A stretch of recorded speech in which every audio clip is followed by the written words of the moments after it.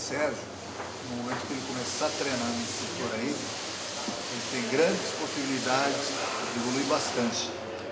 Porque é um jogador que cabeceia bem, ele sabe fazer bem o pivô e chuta bem. Então, no meu entender, é um jogador que tem todas as características para jogar de, de, de, atacante. É só ele querer, ele botar isso na cabeça dele e treinar por aí.